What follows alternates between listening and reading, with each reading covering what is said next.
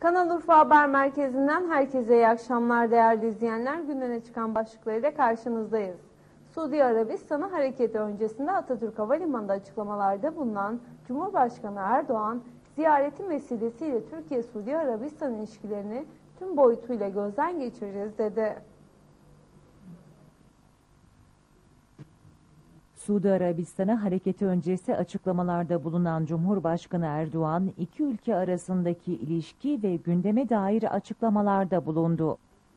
Hadimül Harameyn'in daveti üzere böyle bir ziyareti gerçekleştiriyoruz ve aramızdaki her türlü siyasi, askeri, ekonomik, kültürel tüm bu ilişkilerin artırılması noktasında yeni bir dönemin başlaması için gayret içerisinde olacağız. Ziyaretin vesilesiyle iki ülke ilişkilerini tüm boyutlarıyla gözden geçireceğiz diyen Cumhurbaşkanı Erdoğan şöyle konuştu. Müteahhitlerimizin son 20 senede Suudi Arabistan'da üstlenmiş oldukları projelerin toplamı 24 milyar dolara ulaşıyor. Ekonomilerimizin birbirini tamamlayıcı yapısı, Suda yatırımcılarını Türkiye'nin dinamik yatırım ortamına çeken unsurların başında yer alıyor. Bu yıl haccın ve umrenin tekrar başlayacak olmasından özellikle memnuniyet duyuyorum. Ülkemiz bu yıl için 37.770 kişilik bir kontenjana sahip olacaktır. Umre için böyle bir rakam söz konusu değil. Diyanet İşleri Başkanlığımız gerekli çalışmaları Suudi makamlarıyla yakın işbirliği içerisinde sürdürmektedir. Değerli arkadaşlar, ziyaretim vesilesiyle Türkiye-Suudi Arabistan ilişkilerini tüm boyutlarıyla gözden geçireceğiz. Dost ve kardeş Suudi Arabistan'la ilişkilerimizde yeni bir dönemin kapılarını aralayacaktır. CHP sözcüsü Özgür Özel'in açıklamalarına dair de konuşan Cumhurbaşkanı, adı Özgür ama soyadı çok garip olan bu zatla ilgili avukatlarımız davalarını açacaklar dedi. Bunların içerisinde dokunulmazlığı olmayanlar var, olanlar var. Tabii olmayanlar için cezai davalar açılabilir ki avukatlarımız bunların çalışmasını yapıyorlar. Ama adı Özgür ama soyadı çok garip olan bu zatla ilgili de şu anda avukatlarımız davaları açıp ve Türkiye Cumhuriyeti'nin Cumhurbaşkanına hakaret yapılabilir mi, yapılamaz mı? E bunu demek ki ders almamış. Şimdi aynı şeyi avukatlarımız davaları açacaklar. Bunlar manevi tazminat davalarıdır. Ve yani ahimle ilgili olan konularda bunlar uluslararası hukuku da bilmiyorlar. Artık ahimlik iş kalmadı. Bitti o iş. Neden bitti? Çünkü burada hüküm giydi.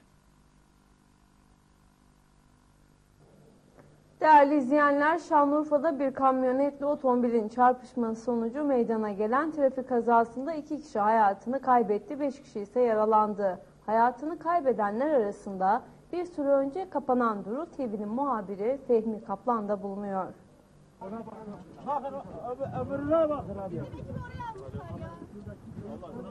Şanlıurfa'da bir kamyonetle otomobilin çarpışması sonucu meydana gelen trafik kazasında iki kişi hayatını kaybetti, beş kişi de yaralandı.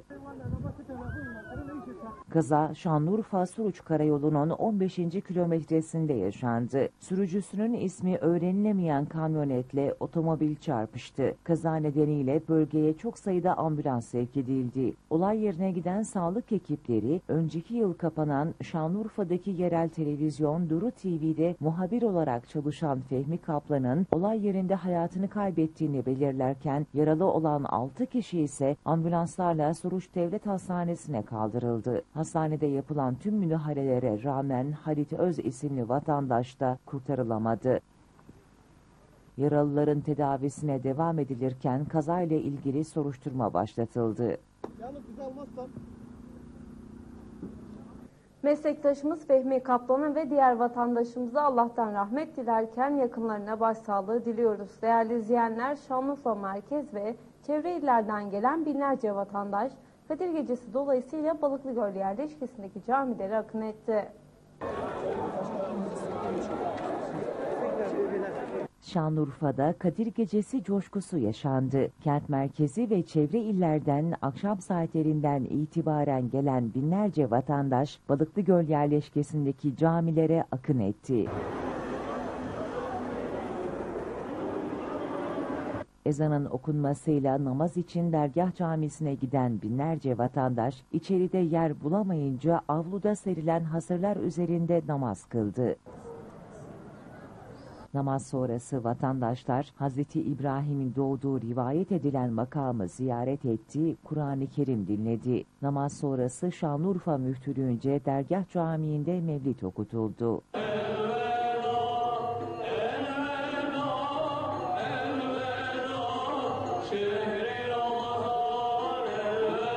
Pandemi dolayısıyla iki yıldır böyle bir coşku yaşanmamıştı. Balıklı Göl'e akın eden vatandaşlar duygularını dile getirdi.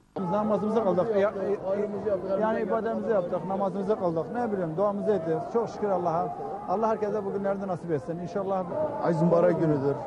Millet Türkiye'nin dört bir yanından geliyor buraya. Doğa için, şifa için. Aynen, aynen, aynen. Hiç kimse nasip olmaz bu gece. Kesinlikle. Yılda bir defa geliyor bu gece. Çok şükür. Allah can sağlığı versin, din iman versin. Başka bir isteğimiz yok. Neler güzel bir gece. Allah bütün Müslüman alanı hayırlı ve uğurlu etsin. Bundan daha güzeli olamaz yani bu kadar bak. İnsanlar gelmiş yani bundan daha iyisi olamaz bence. Neler yaptınız bugün? Namazımızı teravihimizi kıldık. Buradan mevlüdü dinliyoruz. Başka yapacağımız bir şey yok yani. Haliliye Belediyesi mübarek Ramazan ayı boyunca yürüttüğü sosyal yardım faaliyetleriyle gönüllere dokundu. 3500 kişiye iftar yemeği ulaştırırken 25 bin haneye gıda kulisi dağıtıldı.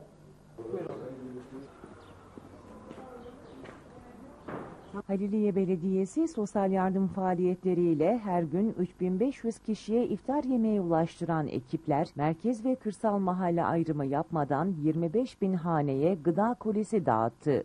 Sosyal Yardım İşleri Müdürlüğü yıl boyunca yürüttüğü gıda yardımlarına Ramazan ayı dolayısıyla kapasite artırdı. Sosyal marketten yararlanan ailelere yönelik Ramazan ayının ilk günü başlayan merkez ve kırsal mahallelerde yürütülen çalışmalarda 25 bin aileye ulaşıldı. Sosyal Yardım İşleri Müdürlüğü'ne yapılan başvuruların oluşturulan komisyonca değerlendirilmesi sonucunda ailelere yardımlar ulaştırılırken yardımların Ramazan ayı sonrasında da devam edeceği kaydedildi. Belediye bünyesindeki aşevinde her gün hazırlanan yemekler görevliler tarafından sefer taslarına konularak araçlarla evlere teslim edildi. 720 hanede 3500 kişi için her gün hazırlanan yemek hizmetinden yararlanan vatandaşlar sunulan hizmetten duydukları memnuniyeti de dile getiriyor. Sosyal destekle ilgili konuşan Haliliye Belediye Başkanı Mehmet Can Polat şu ifadelere yer verdi.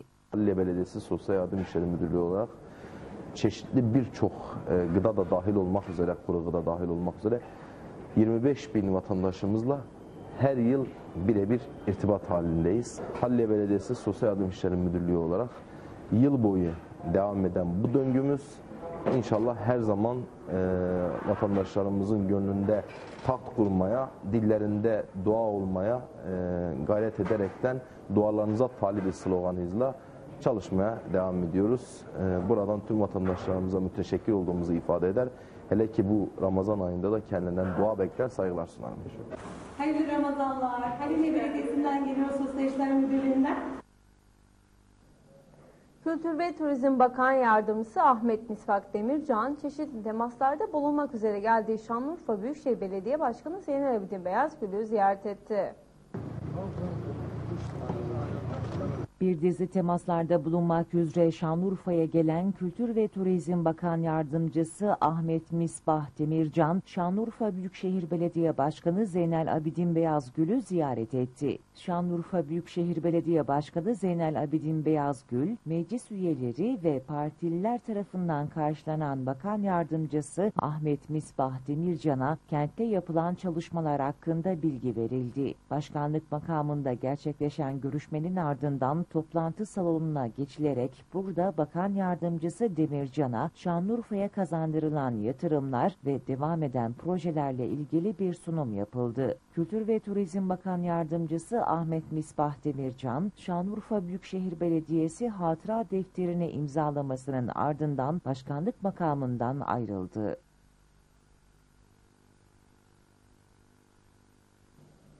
Kadir Gecesi nedeniyle Mevlana Celaleddin Rumi Camisi'nde kılınan teravih namazına Kültür ve Turizm Bakan Yardımcısı Misbah Demircan da katıldı. Ramazan ayının son günlerine girilirken Kadir Gecesi'nde vatandaşlar camilere akın etti.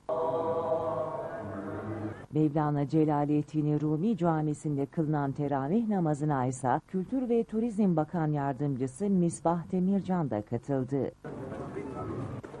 Teravih namazının ardından vatandaşlara Haliliye Belediyesi tarafından kandil simidi ve lokum ikram edildi. Kültür ve Turizm Bakan Yardımcısı Ahmet Misbah Demircan, maneviyat duygusunu yaşadığını belirterek yaptığı açıklamada şunları kaydetti. bu Mevlevihanede, bu mekanda kendi ruhumun iz düşümünü gördüm. Dolayısıyla burada aslında kendimi buldum. Emeği geçen herkese, başta zaten olmak üzere teşekkür ediyorum. Allah razı olsun. Sizleri var etsin ve adetlerinizi çoğaltsın. Hafız Kasım Sezer de yaptığı açıklamada İslam aleminin Kadir Gecesi'ni tebrik etti. bu manevi atmosferde, bu manevi günde bin geceden hayırlı olan bir gecede Sayın Bakanımız teşrif etti. Hem Mevlevi külliyemizi hem Mevlevi dergahımızı ziyaret etti. Kendisine hoş geldin ve şükranlarımı sunuyorum. Bize inandı, bize güvendi ve buraya şeref verdi. Onun için de ayrıca bir teşekkür ediyorum. Bir ustad tarafından işlenildi, yeni yapıldı. Bütün hepsi Şanlıurfalı Hacı Naci Ökkeş yaklaşık 60 yıldır yaptığı lezzetli meyan şerbetini Kadir Gecesi'nde Kanal Urfa Yönetim Kurulu eski başkanı rahmetli İbrahim Toru ruhuna dağıttı. İbrahim Toro'yu khairna sebil. Birer fetha okuyun. İbrahim Toro'ya bir fetha okuyun. Birer fetha okuyun. Yaptığı lezzeti şerbetiyle tanınan Hacı Naci ve çocukları Kadir Gecesi'nde Kanalurfa Yönetim Kurulu eski başkanı rahmetli İbrahim Toru adına meyan şerbeti dağıtıldı. Binlerce kişinin akın ettiği Balıklı Göl platosu içerisinde Dergah Camii avlusunda Toru adına meyan şerbeti içenler ruhuna Fatiha okudu. Sevin Allah sevin.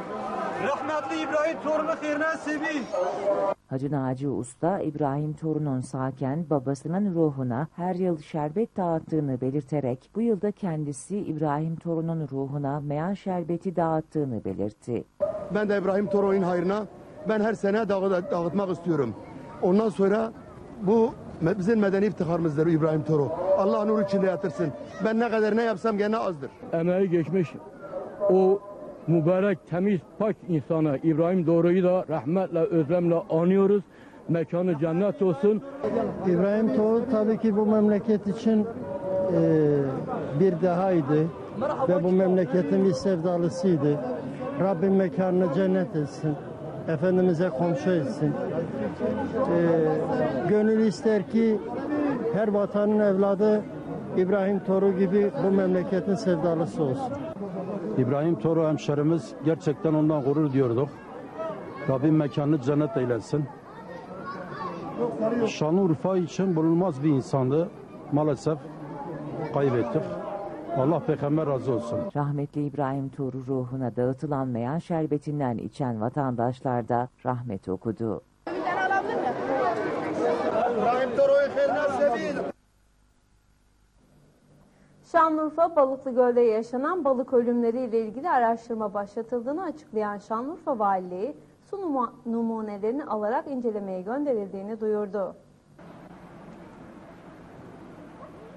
Şanlıurfa Valiliği tarafından yapılan açıklamada Balıklı Göl'deki balık ölümlerinin ardından gölün çeşitli noktalarından su numuneleri alındığı belirtildi. Halk Sağlığı Başkanlığı ve Şanlıurfa Su Kanalizasyon İşleri Genel Müdürlüğü'ne ait laboratuvarlarda numunelerin inceleneceği belirtilen açıklamada araştırma sonuçlanıncaya kadar Balıklı Göl'deki mevcut yemlenmenin de durdurulduğu duyuruldu. Olayın hemen ardından gölde ek havalandırma sisteminin de devreye girdiği kaydedilen açıklamada ölü balık ve su numuneleriyle yem örnekleri patolojik, bakteriyolojik, parazitolojik ve toksikolojik inceleme için Ankara Veteriner Kontrol Merkezi Araştırma Enstitüsü Müdürlüğü'ne de gönderilmiştir. Laboratuvar incelemeleri sonuçlanıncaya kadar Balıklı Göl'deki mevcut yemleme ön tedbir olarak durdurulmuş olup ek havalandırma sistemleri de devreye alınarak gölün havalandırılmasına devam edilmektedir. 27.04.2022 tarihinde tekrar toplanan Balıklı Göl Bilimsel ve Teknik Komisyonu Birecik Tarım İlçe Müdürlüğü laboratuvarında bakteriyolojik ekim yapılmasına ve laboratuvar tahlil sonuçları gelinceye kadar balıkların bağışıklığını güçlendirmek amacıyla antibiyotikli yem kullanılmasına karar vermiştir. Beklenen analiz sonuçlarına ve gözlemlere göre tekrar değerlendirme yapılacaktır denildi.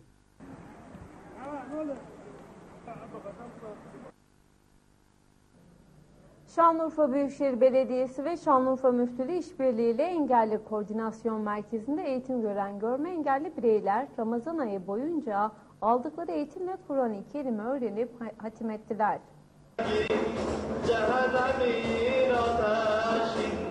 Görme engeli bulunan bireylere yönelik Braille alfabesi yöntemiyle başlatılan Kur'an-ı Kerim kursunda engelleri aşan öğrenciler için Şanlıurfa Büyükşehir Belediyesi tarafından hatim programı düzenlendi. Bismillahirrahmanirrahim. Kul a'udhu bi rabbin nas, malikin nas, ilahin nas, min şerril vesvesil hannas, ellezî yüvesvisu fi Şanlıurfa İl Müftülüğü'nde görev yapan ve gönüllülük esasıyla Engelli Koordinasyon ve Yaşam Merkezi'ndeki öğrencilere ders veren Zeynep Akbaş'ın gayretleriyle Kur'an-ı Kerim öğrenen ve okumaya başlayan öğrencilerin sevinci yüzlerine yansıdı. Düzenlenen hatim programında dualar ve ilahiler de seslendiren öğrenciler, görme engelliler Kur'an kursu öğreticisi Zeynep Akbaş'ın programın sonunda ettiği duaya hep birlikte amin diyerek hatim programını tamamladı. Dualarımızı kabul et. Tüm peygamberlere salat ve selam olsun. Milli Savunma Bakanlığı Barış Pınar ve Fırat Kalkanı bölgelerine saldırı hazırlığındaki 12 PKK-YPG'li teröristin etkisiz hale getirildiğini bildirdi. Milli Savunma Bakanlığı Barış Pınarı ve Fırat Kalkanı bölgelerine saldırı hazırlığındaki 12 PKK-YPG'li teröristin etkisiz hale getirildiğini açıkladı. Milli Savunma Bakanlığı'ndan yapılan açıklamada kahraman Türk Silahlı Kuvvetlerimiz Suriye'nin kuzeyindeki terör inlerini yerle bir etmeyi sürdürüyor. Barış Pınarı ve Fırat Kalkanı bölgelerine saldırı hazırlığında oldukları tespit edilen 12 PKK-YPG'li terörist etkisiz hale getirildi ifadeleri kullanıldı. Akçakale Belediyesi Kadın Spor ve Aktivite Merkezi'ndeki kurslar sayesinde Akçakale'li kadınlar hem meslek öğreniyor hem de aile bütçelerine katkı sağlıyor. Akçakale'de kadın istihdamının artırılması ve kadınların sosyalleşmesi açısından Akçakale Belediye Başkanı Mehmet Yalçınkaya'nın öncülüğünde hayata geçirilen merkezde kadınlar mesleki eğitim hayallerine kavuşuyor.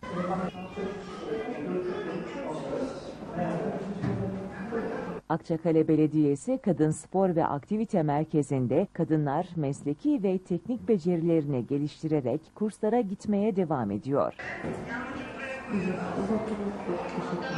Yoğun ilgi gören kurslarda şu an 55 kursiyer eğitim alıyor. Kursiyerlere ilgi alanlarına göre filografi, telaryum, el sanatları, resim, dikiş, nakış, kuaför eğitimi ile okuma yazma ve Kur'an-ı Kerim kursları veriliyor. Kursların sonunda başarılı kursiyerler sertifika alma imkanına sahip oluyor. Merkeze ve kurslara dair açıklamalarda bulunan eğitmenler herkesi kurslara davet etti. Dikiş nakış olsun, el sanatları olsun, e, aile bütçesine bir faydası olsun, yapıp satma imkanları olabilir, e, kendini geliştirebilir, sosyalleşebilir. Yani çok imkanlar var, imkanlar sağlanıyor aslında. Yani belediye olsun, belediye başkanı olsun. Teşekkürler ediyoruz. Olması için gerçekten bütün halkı bekliyoruz. Güzel şeyler var. Kursiyerler de Başkan Yalçın Kaya'ya teşekkür etti. Ee, belediyenin bize sağlamış olduğu yerden dolayı öncelikle onlara teşekkür ediyoruz. Buraya gelen bayanlara meslek edindiriyoruz. Ee, Bayanlar en azından ufacık bir katkıda olsa ailelerine bulunuyorlar. Diktikleri şöyle gördüğünüz gibi kıyafetlerle dışarıya yani parayla dikenler oluyor. Burada mesleği öğrenip kendi iş yerlerini açan öğrencilerimiz var, bayanlar var. Ailelerine katkıda bulunuyor. Diyarbakır Emniyet Müdürlüğü Kaçakçılık ve Organize Suçlarla Mücadele Şube Müdürlüğü'nce 300 polisin katılımıyla düzenlenen Helikopter Destekli Koyunlar adlı operasyonda 35 kişi gözaltına alındı. Diyarbakır'da iş adamı kimliğine bürünerek galericilik, arazi, ihale ve inşaat işleri gibi sektörlerde etkili olan ancak haksız kazanç elde etmek amacıyla kasten öldürme, yağma, tefecilik, rüşvet, 2136 SKM, ihaleye fesat karıştırma, kasten yaralama ve tehdit suçlarına işleyen Koyunlar isimli silahlı suç örgütü yapılan detaylı çalışmalar neticesinde deşifre edildi. Diyarbakır Cumhuriyet Başsavcılığı koordinasyonu Hazinesinde Diyarbakır polisinin 6 ay süren detaylı çalışmaları neticesinde örgüt üyelerinin yakalanması için düğmeye basıldı. Kom birimleri sözde suç örgütü lideri CK polis helikopteri tarafından tespit edilerek tarlada yakalandı. Örgütün yöneticilerinden bir diğeri ise operasyon sırasında evde halının içinde sarılı halde bulundu. 35 şüphelinin yakalandığı operasyonda 29 ruhsatsız tabanca, 7 tüfek, 1086 fişek, çok sayıda çek, senet ve tapu ele geçirildi. Operasyona ilişkin şüphelilerin evlerinde, işyerlerinde ve araçlarında aramaların devam ettiği öğrenildi. Şanlıurfa'da Büyükşehir Belediyesi tarafından yürütülen geri dönüşüm projesi kapsamında okullarda toplanan atık piller geri dönüşüme kazandırılıyor. Şanlıurfa Büyükşehir Belediyesi şehir genelinde gerçekleştirdiği geri dönüşüm çalışmalarıyla doğaya ve ekonomiye katkı sağlamaya devam ediyor. Evet arkadaşlar atık pil konusu ülkemiz için son derece önemli olan bir mevzudur. Çünkü atık pilleri biz eğer geri dönüşüm kutularına kazandıramazsak, atık pilleri çevreye rastgele atarsak e, toprağı kirletiyoruz. Daha sonra suları kirletiyoruz. Taşınabilir Pil Üreticileri ve İthalatçıları Derneği ile işbirliği içinde yürütülen projeyle atık piller toplanarak geri dönüşüme kazandırılırken doğaya zarar verilmesinin önlenmesinin yanı sıra geri dönüşümle ekonomiye katkı da sağlanıyor. Biz bunları nasıl bertaraf edeceğiz? Belediyelerimiz vasıtasıyla. Belediyeler ayak oluyor buna. E, atık kutuları bize getiriyorlar. Biz atık pillerimizi evde ya da topladığımız pilleri getirip bu atık kutulara e, atıyoruz ve belediye tarafından bunlar güzel bir şekilde bertaraf ediliyor. Büyükşehir Belediyesi Çevre Koruma ve Kontrol Daire Başkanlığı tarafından yürütülen proje çerçevesinde ilçedeki kamu kurumları ve okullara atık pil kutuları bırakılarak piller toplanırken şu ana kadar yaklaşık 400 kilogram atık pil toplanarak geri dönüşüme kazandırıldı. Akabe Kız Anadolu İmam Hatip Lisesi öğrencisi Zeynep Ateş geri dönüşümle ilgili şöyle konuştu. Hocalarımızın teşvikiyle e, okulumuza e, sıfır atık projesiyle pilleri, atık pilleri getirdik. E, doğaya katkıda bulunduk. Hediyelerle teşvik eden Büyükşehir Belediye'mize teşekkür ederiz.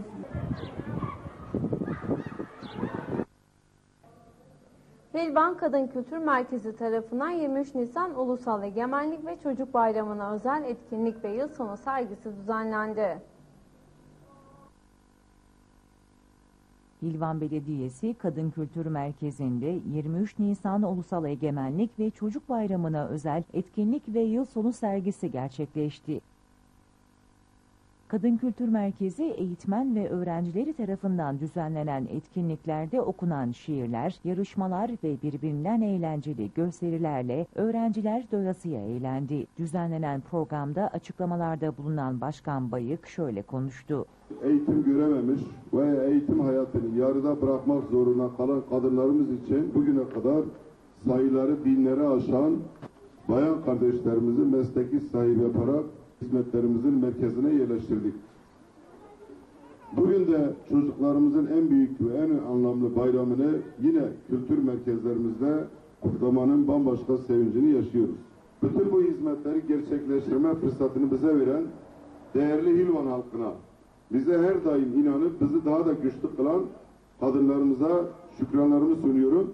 Tüm çocuklarımızın 23 Nisan Ulusal Egemenlik ve Çocuk Bayramı kutlu olsun. Hilvan Belediye Başkanı Aslan Ali Bayık ve katılımcılar daha sonra Kadın Kültür Merkezi'nde mesleki eğitim gören kursiyerlerin yıl boyunca usta eğitmenler eşliğinde el kabiliyetleriyle yaptıkları el emeği göz nuru ürünleri inceleyip çalışmalar hakkında bilgi aldı.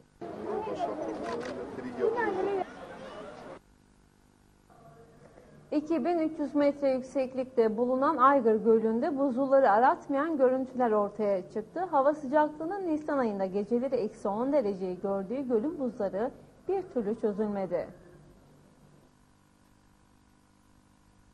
Türkiye'nin birçok noktasında özellikle Ege ve Akdeniz'de vatandaşlar deniz ve güneşin tadını çıkarırken Kars'ın Susuz ilçesinde Kars Göle Karayolu üzerinde bulunan Aygır Gölü'nün tamamına yakınının buzla kaplı olması bölgede balıkçılıkla uğraşanları da kara kara düşündürüyor. Sadece güne gören kıyısının bir kısmında çözülme görülen Aygır Gölü'nün buzla kaplı yüzeyi görenleri şaşırtıyor. Yaklaşık 20 yıldır Aygır Gölü'nde balıkçılıkla uğraşan Nurhak Yazar, ağlarını suyla buluşturmak için Aygır Gölü'nün buzlarının çözülmesini bekliyor.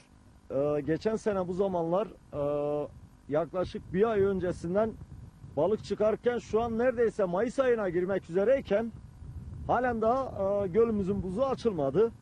Nurhak Yazar isimli balıkçı Ege'de, Akdeniz'de insanların denize girdiğini ifade etti. Ege'de, Akdeniz'de vesaire herkes denize girerken biz halen daha gölün açılmasını bekliyoruz. Aygır Gölü yani Kars'a bağlı Aygır Gölü'nün açılmasını bekliyoruz. Ki e, nasıl söyleyeyim buzu kırıp gidemiyoruz. Açılmasını bekliyoruz. E, burası tabii ki Antarktika değil. Antarktika değil, buzullar değil ama gel gör ki bu da bir gerçek burası Kars. Yazar 15 Mayıs 2022 tarihinde başlayacak olan balık avı yasağı öncesinde Aygır Gölü'ne ağlarını sermeyi bekliyor. Denizden yüksekliği 2300 metre yükseklikte bulunan Aygır Gölü'nde geceleri hava sıcaklığı eksi 10 dereceyi görüyor. Buzulları aratmayan Aygır Gölü'nün buzlarının Mayıs ayı ortasında çözülmesi bekleniyor. Değerli izleyenler ana haber bültenimizi burada noktalıyoruz. Tekrardan karşınızda olmak dileğiyle hoşçakalın.